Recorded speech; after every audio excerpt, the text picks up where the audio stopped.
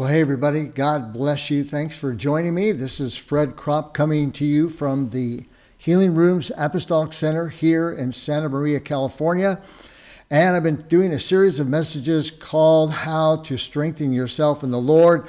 And uh, I'm talking today about how to stay strong in the Lord by staying in your lane. This is part two.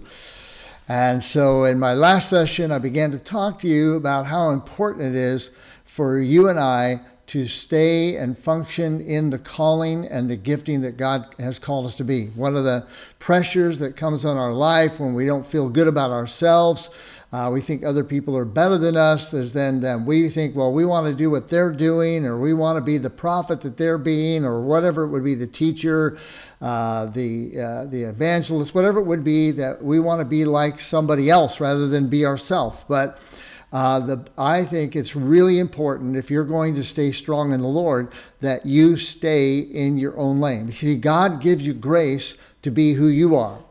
God gives you grace and gifts to do the things that God has called you to be. And when you step outside of that, guess what? You're going to start, it's going to become a, a thing that's, it's a strife for you. It's hard. It's, it's, you get under stress and pressure. Uh, it never comes out as good as you know you would like it to be. It's because you've gotten out of your lane. And so you can go back in the last session. I talked about some of the things of how we get out of our lane. And also, I began talking to you about how there's some things you, that you can do to stay in your lane. So, I want to give you a theme verse here just to start off with. It's found in Romans chapter 12, uh, verses 3 through 8. I'm not going to read the whole passage, but it says this. Paul writes, and he says, For he says, For through the grace given to me, I say to everyone among you not to think more highly of himself than he ought to think, but to think as to have sound judgment, as God has allotted to each, each of us, a measure of faith. For just, he says, for just as if just as we have many members in one body, and all the members do not have the same function. So we, who are many, are one body in Christ and individually members of one another. Since we have gifts that differ according to the grace given to us, let us each exercise them accordingly. So here it is. We're going to pray. We're going to jump in.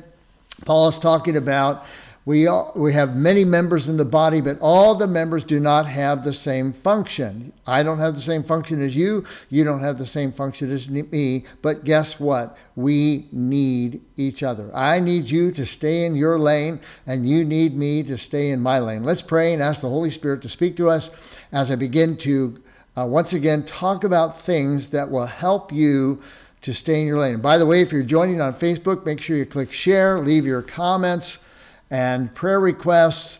And uh, also make sure you subscribe to my YouTube channel, which is posted in the chat. It's Fred Kropp, K R O P P.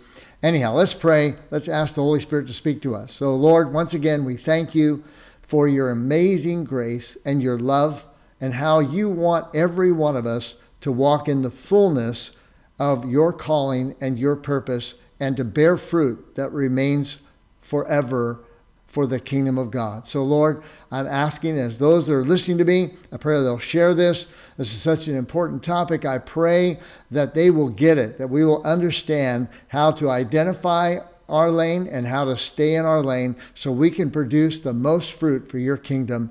We thank you, Holy Spirit. We ask you to speak to us now in Jesus' name. Amen. Can you say amen to that?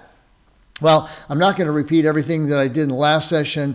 In the last session, I, I, talked about uh, that, uh, you know, we need to, how do we uh, stay in our lane? And I talked about some different things. I'm going to just highlight those very briefly. You can go back to Staying Your Lane, Part 1, which you can either find on the uh, Healing Rooms uh, YouTube channel Healing Rooms of, of Santa Maria YouTube channel, or you can find it on my YouTube channel, or you can go back through the Facebook archives or the, the Facebook page of the Healing Rooms uh, and find this message called How to Stay in Your Lane or Stay in Your Lane Part 1. But here's some of the things that I talked about last time. uh, one of the keys now, I'm talking about, for those of you that are joining, I'm talking about understanding uh, how to stay in our lane so that we don't, guess what? When we get out of our lane, it becomes dangerous for ourselves and for other people, right? Just like driving. Come on, folks, stay in your lane. You know, I just was up in the Bay Area, I was up in the San Francisco area, and there are people that their whole purpose in life is to cut everybody else off and weave in and out of traffic as fast as they can. Uh, and guess what? It just makes everybody else nervous and uh, you know, they're, they're a wreck waiting to happen.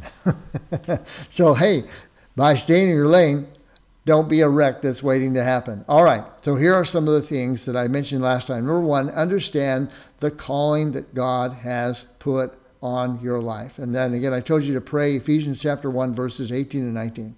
The second thing that I mentioned was recognize and develop the gifts that the Lord has given you. God has given to every one of us gifts and talents and abilities and we need to begin to function in our gifts, understand what our gifts are. Uh, you have to learn that by stepping out by faith, practicing, uh, stirring up the gift that God has put in you. Now, how, uh, then also, the third thing I talked to you about was uh, on how to stay in your lane is to know who the Lord has joined you to and uh, who have the same calling and vision that you have. And so I mentioned that Paul had several people. He lists in his uh, writings and his letters, he names a lot of people that these were people that were joined to Paul in the same purpose and calling, which it was an apostolic call to go out and plant churches, to equip churches, to strengthen churches. And so he names a lot of people Barnabas, Silas, Timothy, Titus, Luke, Mark, Aquila and Priscilla, Epaphroditus, Epaphras, and many, many others. So that was the third thing. Then the fourth thing that I talked to you about uh, actually, this is the, now I didn't talk to you about that. I'm going to talk to you now about that. So, what is the next thing that you need to do in order to stay in your lane and stay in the hope of your calling and stay in the strength of the Lord? Well, here it is. Be clear about the sphere of influence that the Lord has given you and what isn't your sphere. The Apostle Paul writes in 2 Corinthians chapter 10, verse 13, he says, But we will not boast beyond our measure, but within the measure of the sphere which God apportioned to us as a measure to reach even as far as you. So Paul understood that he said, I'm not a, an apostle to everybody, but I do have a sphere of influence. He understood that Peter was an apostle to the Jewish people and he was an apostle to the Gentiles. And so each one of us is given a sphere. It's when you get out of your sphere, that's when all of a sudden the grace of God dries up and you don't have the strength and the power and the anointing to accomplish what God calls you to accomplish when you get out of the sphere. So it's important to understand what is the sphere that God has given you. And so, um, you know, wh- where are you involved in ministry? I was a pastor for a number of years. Uh, I was a senior pastor and an associate pastor, both. Uh, and when I was a senior pastor, I had a sphere that was had to do with the people that were considered me as their pastor. And uh, then when I would, I worked for, I was uh, associate pastor in a much larger church in Seattle. We had 6,000 people with 22 pastors. And guess what? We all didn't have the same sphere within that. Uh, my sphere uh, uh, that I covered was very specific areas that I ministered in, which had to do with missions and equipping people and had to do uh, with what we called encounter retreats. So, if you're going to stay in your lane, you've got to understand the sphere that that God has given you and what isn't your sphere. Stay in your sphere. The fifth thing, uh, and this one, uh, some of you are going to. I'm about to uh, uh, to say a dirty word uh, to a lot of people, and sometimes, sadly, to Christians. Okay, are you ready for the dirty word? Okay. Here it comes. Now, here's another key to staying in your lane. Know those, know whose authority the Lord has put you under. Know whose authority, there's the dirty word, the Lord has put you under. Now, if when I say the word authority, all of your flags come up and you get all of a sudden like, oh, that's the end of this video for me. It's because you don't understand biblical authority and how important authority is. And some of you may be thinking, well, yeah, uh, I, I, am, I am under God's authority and I'm not going to be under anybody's authority. Do you know that that is contrary to what the Bible teaches? Let me just give you a couple of verses and let me just tell you a safe place, a safe thing that will keep you in your lane is being understanding whose authority that God has put you under. Now, Hebrews chapter 13, listen to this. This is, uh, we don't know who exactly the writer of Hebrews is. Some believe it's Paul, some believe it might have been um, other somebody else. But here's what the writer says Hebrews 13, verse 17 Obey your leaders and submit to them, for they keep watch over your souls as those who will give an account. Let them do this with joy and not with grief, for this would be unprofitable for you. Now, so here the writer of Hebrews is telling us that we need to obey our leaders and he's talking about spiritual leaders now in this situation. We have there's different areas of authority. There's governmental authority there's family authority there's employment authority uh, there's the government authority and then of course we have spiritual authority. Now this is where uh, and, and here it is. As I, you know, it, it, again, this is assuming that the authorities have the right motive. And so, as a pastor, um, my job was to help people to grow in what God had called them to be and do, but also was to watch out over their souls, not to control them or tell them what to do. But if I saw them heading for a cliff uh, and I knew they were about to crash, uh, it, you know, I, I would probably say something uh, you don't want to do that. You don't want to go that direction because I, I, want, I want you to be okay. Okay? So here he says, Obey your leaders and submit to them, for they watch over your souls. In Peter, uh, 1 Peter chapter 5, real interesting passage. For those of you who are joining me, I'm talking about how to stay in your lane, part two. And I'm talking about things that will help you to stay in your lane and have the power and strength of God or be strong in the Lord the key in again is to stay in your lane. Okay, so here's we're talking about know those who are in authority over you. Okay, so First Peter chapter 5, verses 5 through 8, Peter writes to specifically to young men. He says this You younger men, likewise be subject to your elders, and all of you be clothe yourselves with humility toward one another. For God is opposed to the proud. One version said he, another version says he opposes the proud, but he gives grace. That's the ability to do God's will to the humble. Therefore, humble yourself under the mighty hand of God, that he may exalt you at the proper time, Peter says, casting all your anxiety, stress on him, because he cares for you.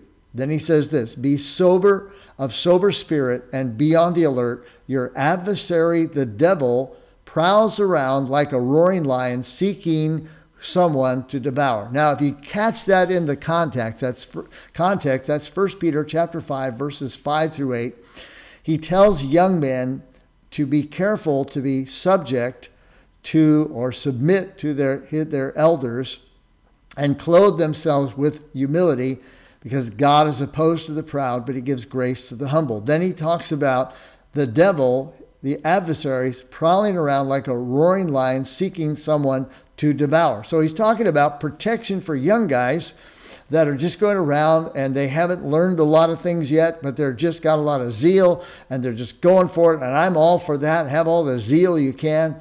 But you need to understand there are people that God wants you uh, to have over your life that can speak into your life and say, look out, uh, don't get off there thinking, you know, I've, I've heard, uh, heard about a young pastor of a thriving church, and he was telling one of his elders in his church, You're over 40 years old or over 50 years old, and I have no need for you. In other words, you can't teach me anything. Well, that is the opportunity for the devil to come in and bring in pride and arrogance, which the Bible says pride comes before a fall. So, one of the keys to, uh, to staying in your lane is to know those who have authority over you. Uh, Paul talks about uh, in 2 Corinthians chapter 10, verse 8. He says, For even if I boast somewhat further about our authority, which the Lord gave us for building you up and not for destroying you, he says. So authority is given to build you up. I, that's my favorite thing to do is to build up young people in God, to build them up, to be a father to them, to encourage them, to see them be successful.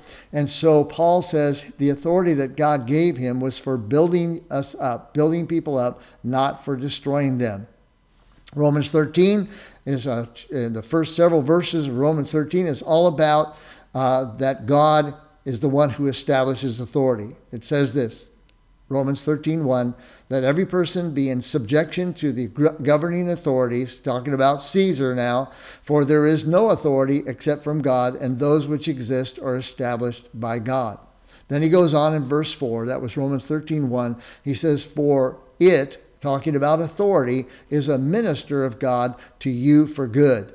If you do what is evil, be afraid, for it does not bear the sword for nothing. It is a minister of God, an avenger who brings wrath on the one who practices evil.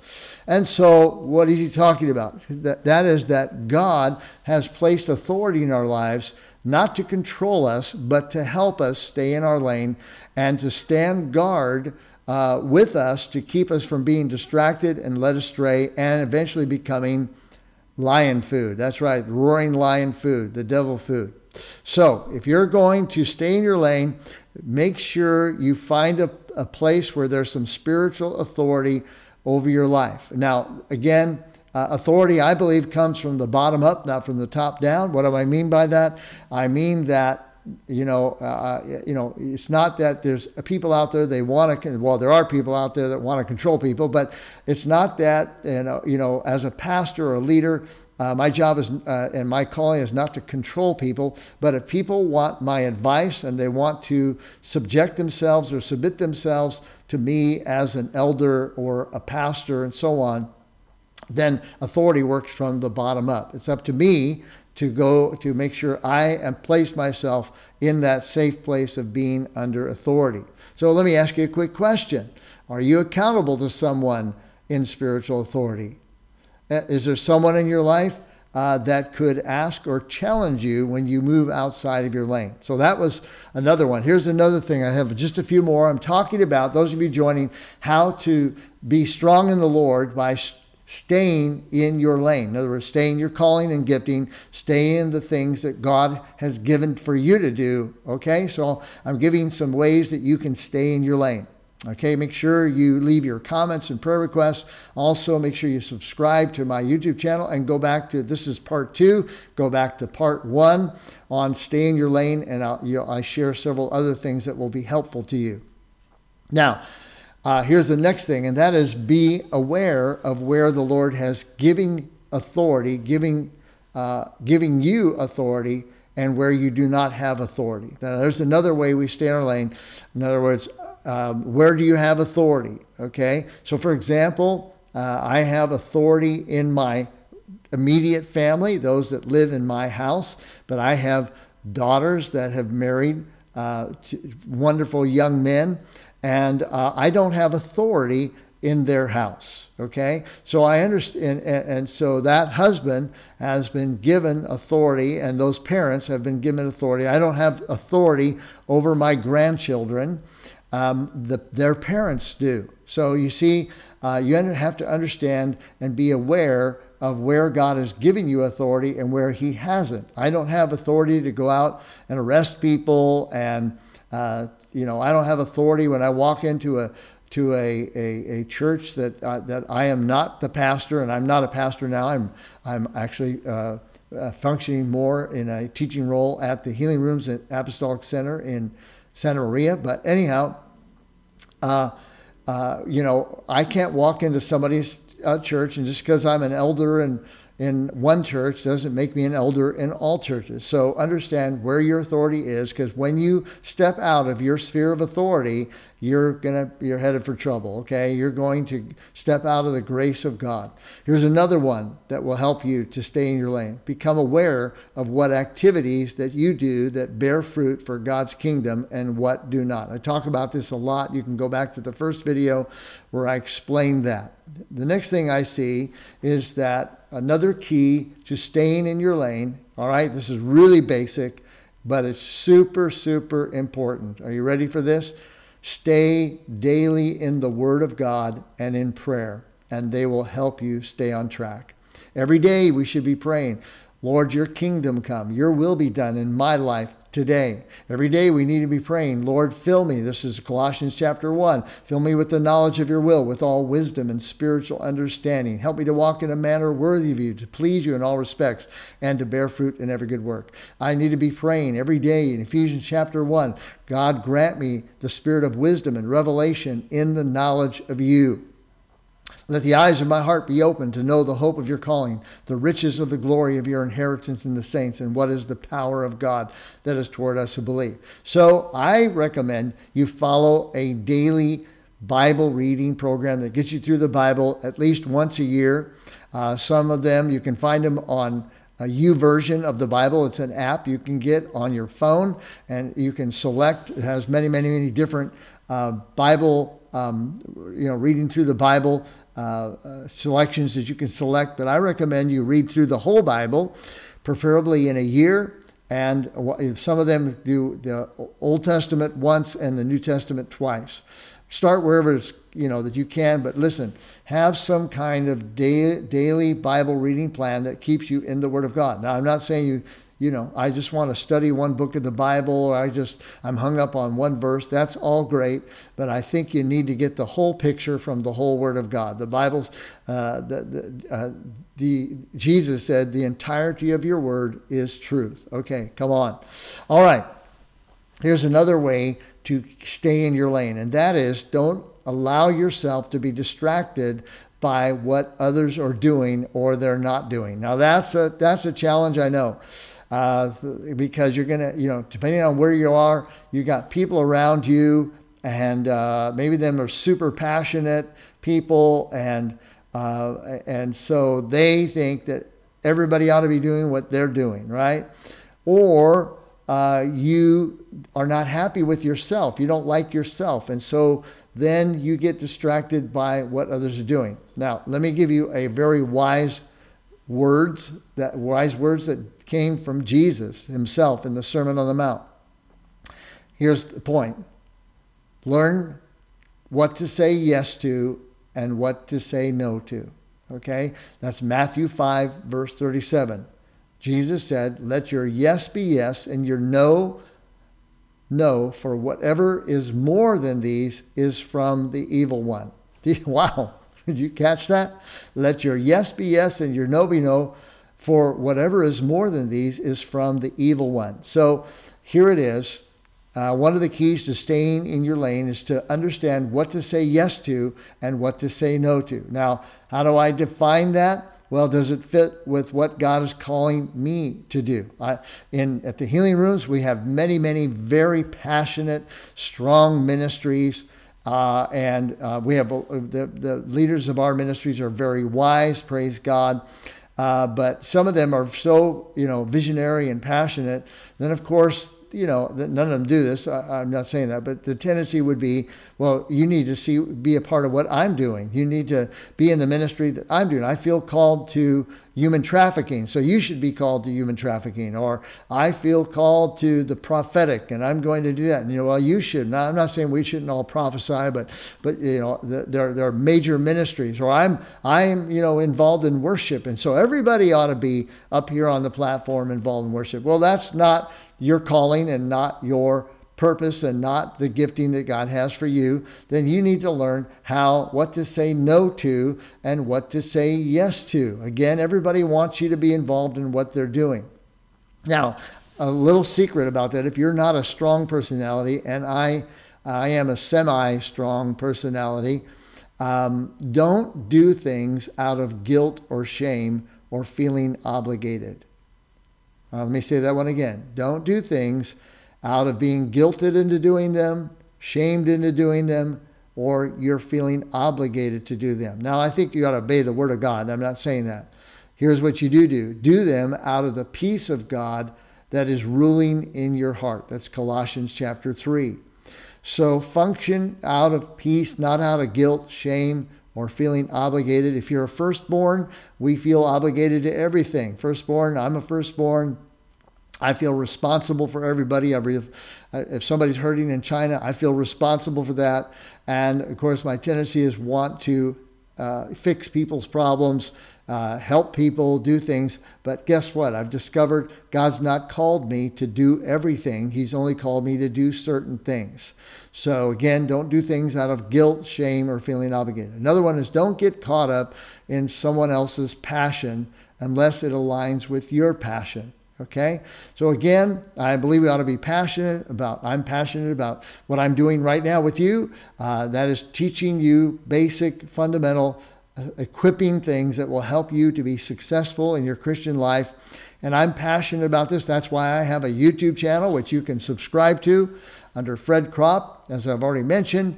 Again, those of you that are joining, I'm talking about how to stay in your lane and to be able to stay strong in the Lord. And so do you stay where, you know, go with your passion. So I am, I love to listen to people that teach because teaching is my passion. Uh, I believe I'm a prophetic teacher. By that I mean it, God speaks to me uh, specific areas that He wants me to talk about right now to the body of Christ. And so I'll speak and teach on those things. So that is a passion for me and to motivate you. That's another passion. But okay, so that's my motivation. Uh, so be careful. I want to have to be careful not to get caught up in somebody else's passion.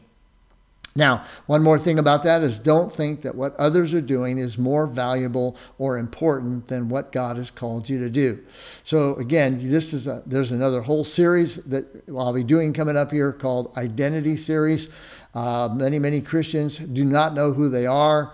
Uh, and so, because of that, they're wandering around trying to find their identity, their calling, their purpose. They're confused, uh, and they, they just are, are frustrated or depressed, uh, and they, because they don't like themselves. They don't like who God's made them to be. Well, that's a danger, right? Don't think that what others are doing is more valuable or more important than what God has called you to do or to be. You are one of a kind. You I can't do what you can do. You have gifts and talents and abilities that I can never attain to, but I need you to do your part. When the Bible says in Ephesians chapter 4, when every part does its part, the body grows and builds itself in love. And then the last thing I want to talk about about how to stay in your lane, and that is ask the Holy Spirit to keep you in your lane. Now, Jesus said, in John chapter 7, he said, uh, he, says, uh, he says, Those who believe in me, as it were, out of their innermost being will flow rivers of living water. And says, In this he spoke about the Holy Spirit, who had not yet been given, for he had not yet been glorified. So the Holy Spirit came on the day of Pentecost, and Jesus told his disciples, Don't go anywhere without the Holy Spirit. And then in John chapter 14 and 16, Jesus refers to the Holy Spirit as the helper. And the word in the Greek is paraclete, not parakeet, paraclete. And it means one who comes alongside to help. It's like you're a wounded soldier, another soldier that is your buddy who is wounded picks you up, puts your arm over his neck, and he carries you to safety. The same is that's what that word means. It's the Holy Spirit is there to help you. And I don't know about you, but I need the Holy Spirit to help me to stay in my lane. Help me, Holy Spirit, to know what to say yes to and what to say no to. How to, how to, um, you know, what activities are, are bearing fruit and what aren't. Help me, Holy Spirit.